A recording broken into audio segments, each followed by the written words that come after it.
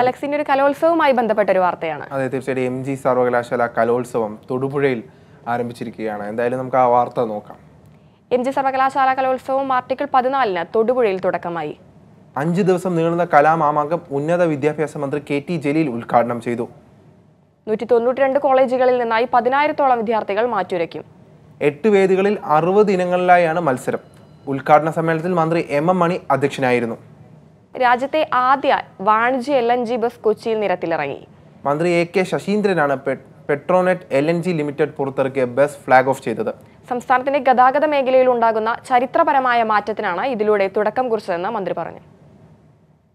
ജീവനക്കാരുടെ ഗതാഗത സൗകര്യത്തിനായാണ് Petronet L N G limited നിലവിൽ രണ്ട് ബസ്സുകൾ നിരത്തിലിറക്കിയത്. പുതുവൈ എൽ എൻ ജി ടെർമിനലിൽ നടന്ന ചടങ്ങിൽ മന്ത്രി A K Saseendran bus flag off ചെയ്തു.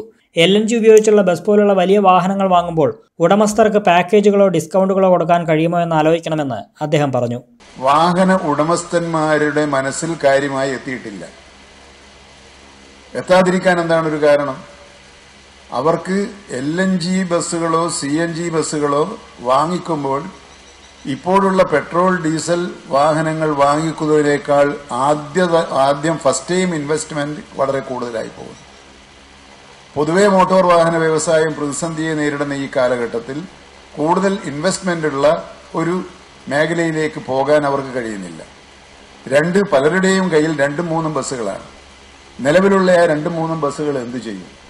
ഈ പ്രശ്നങ്ങൾക്ക് പരിഹാരം കാണത്തക്ക വിധത്തിൽ പെട്രോനെറ്റും നാച്ചുറൽ ഇവിടെ ഈ നടത്തുന്ന എൽ എൻ ജി ടെർമിനലുമായി ബന്ധപ്പെട്ട ആളുകളും ആലോചിക്കേണ്ടത് നമുക്ക് വാഹന ഉടമസ്ഥന്മാരെ ആകർഷിക്കത്തക്ക വിധത്തിലുള്ള പാക്കേജുകളോ സ്പെഷ്യൽ ഓഫറുകളോ നൽകാൻ കഴിയുമോ എന്ന് ആലോചിക്കണം. നാനൂറ്റി അൻപത് ലിറ്റർ ശേഷിയുള്ള ക്രയോജനിക് ടാങ്കാണ് ബസ്സിലുള്ളത്.